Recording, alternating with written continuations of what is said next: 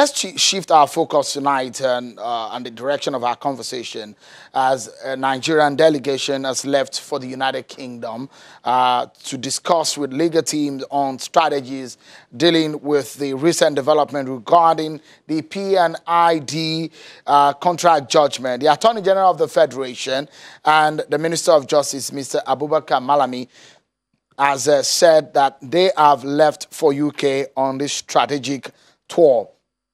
According to the minister, he said, quote, all cards are on the table, but it all depends on the beneficial that has potency for setting aside the award, having regards to the applicable law in the circumstances. Mr. Malami said no possibility is ruled out, including possibility of filling or filing rather new case and or using existing proceedings to seek relief of setting aside the award of the contract cannot be ruled out. Last week, the Federal High Court in Abuja ordered the Process and Industrial Development Limited (P&ID) to wind up operations in Nigeria and forfeit its properties to the federal government. Justice Inyang Ekwo gave the order following the arraignment of the companies on Thursday by the Economic and Financial Crimes Commission. Another, uh, he said, was given for the second convict to be wound up and its asset forfeited to the federal government. And on Friday, the day after, a former director of legal services in the Ministry of Petroleum Resources was arraigned before a high court of the Federal Capital Territory. The arraignment is coming barely 24 hours after the conviction, conviction of the P&ID by the Abuja Division of the Federal High Court on economic sabotage, money laundering, and tax evasion, amongst others. We have joining us from our Abuja studio uh, to get insight on this. Uh, perhaps a case that started around the time that he was the Attorney General of the Federation and the Minister of Justice. We have in our Abuja studio Mr. Mike Aondoakaa. Thank you so much, Mr. Aondoakaa, for coming on tonight. Let me get your view, short, a, a, brief one, before we go on this break. How would you react to perhaps some of the convictions that have come on this case in Nigeria? Well, the evidence was there. Some of them pleaded guilty, and they were convicted. So if somebody was convicted based on the fact that he pleaded guilty, there's nothing you can say about it again. He has been convicted. Mr. Aondoakaa, we'll take a breather, but when we come back, I'd like to ask you a few questions around because we understand that this deal came up in 2010. You were still in office around that time. Your knowledge of it and what do you think the federal government should be doing? We'll take a break, and when we come back, we'll look at that and many more. Join us again, everyone.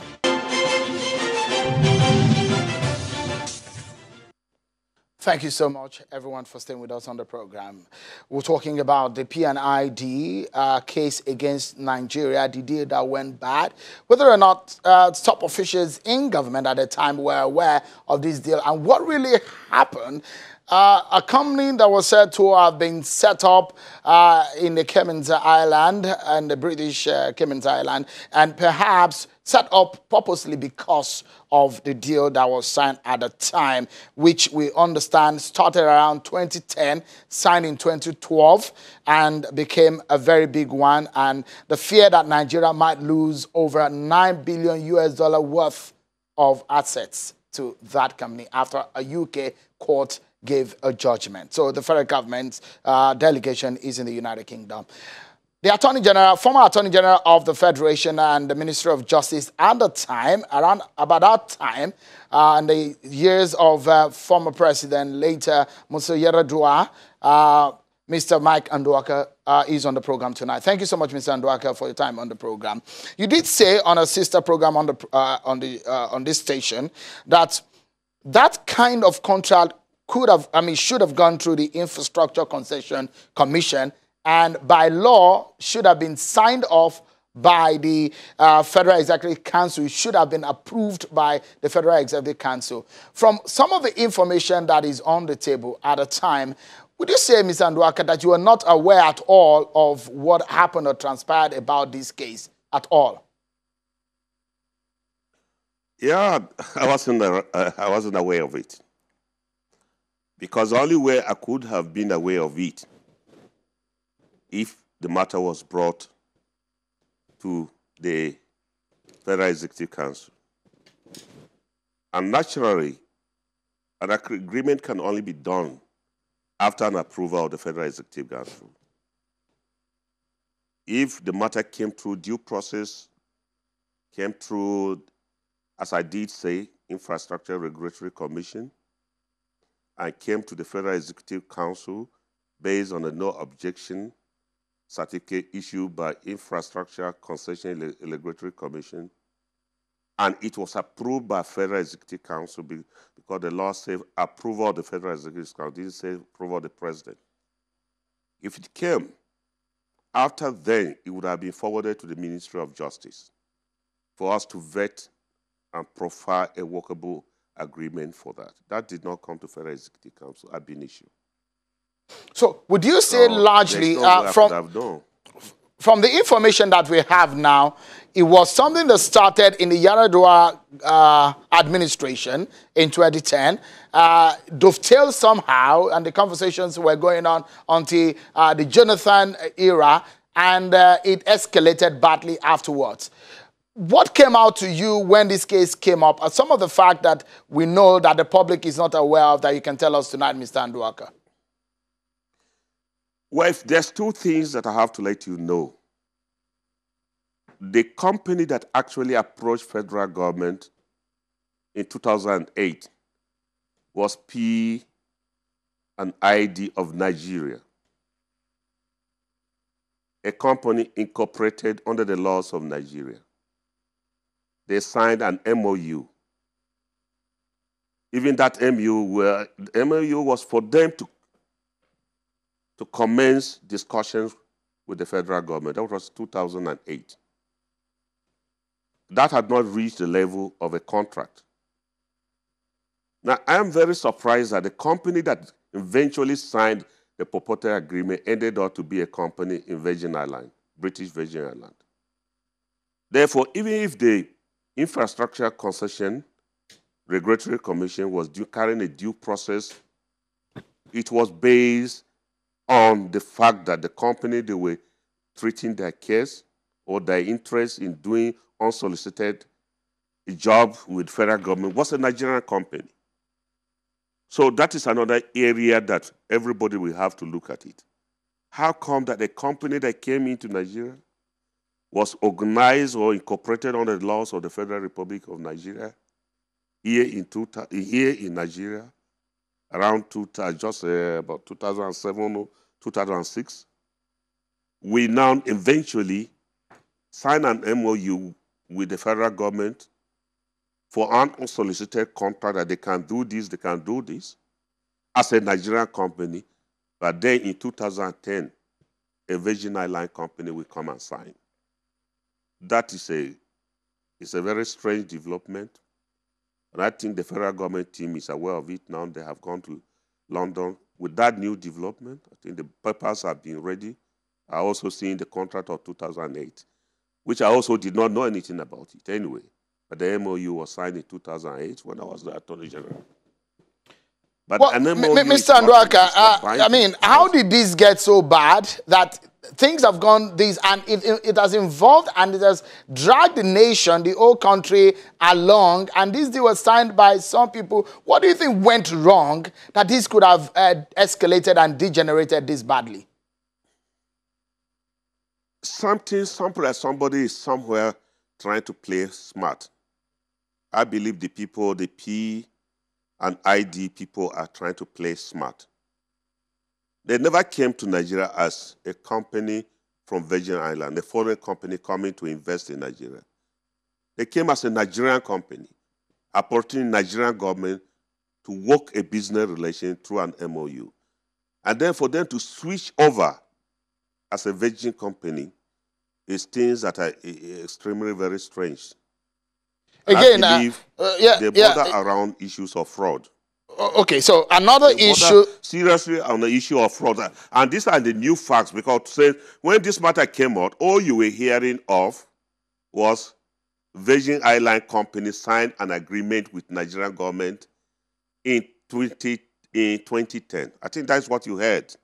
But I'm giving you an insight again that the same company having a similar name, P and ID Nigerian Limited, signed an MOU here in 2008.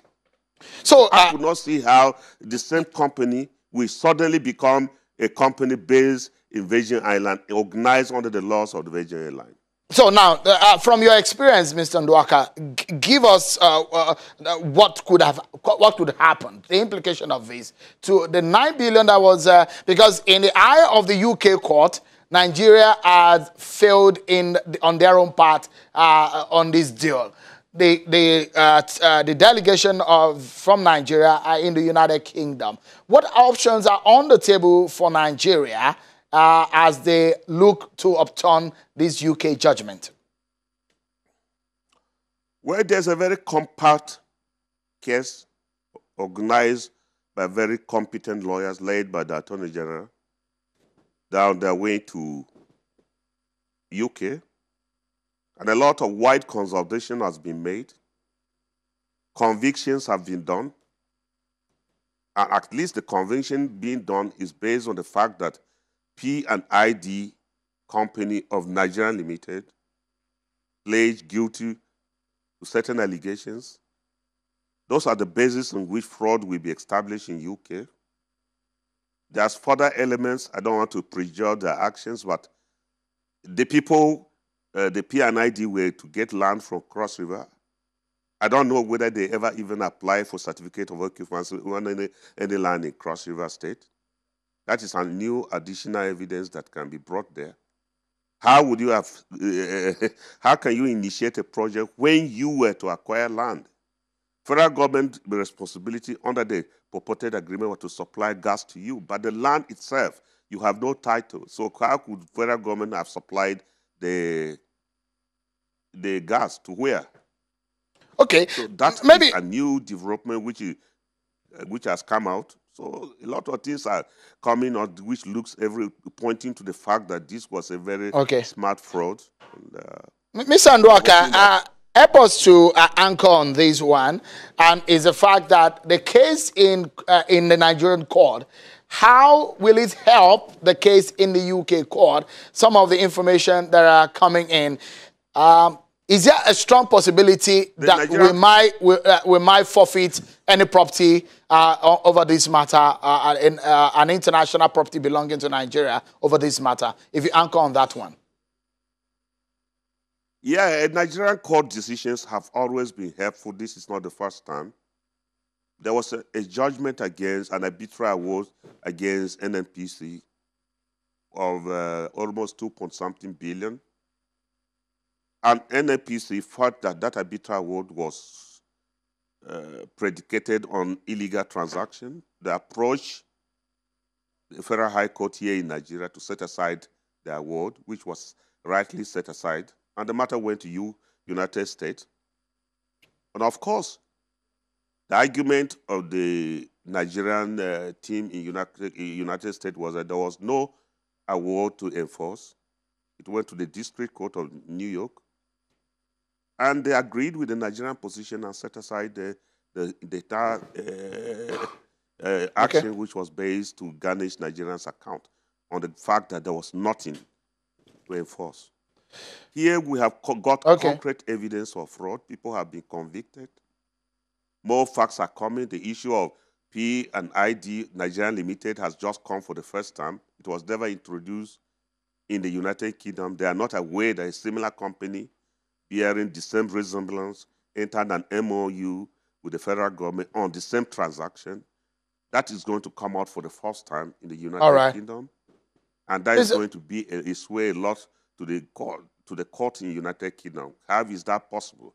How could it be possible that a similar company will be pursuing the same objective? Okay, we, we, have to leave, we, we, have to hang on that, uh, Mr. Aondoakaa. I must sincerely thank you for coming on the program tonight. Former Attorney General of the Federation and former Minister of Justice, Mr. Mike Aondoakaa. Thank you so much for coming on the program tonight. But that's our show tonight, everyone. Many thanks for watching. I'm Sean Kimale. Bye bye.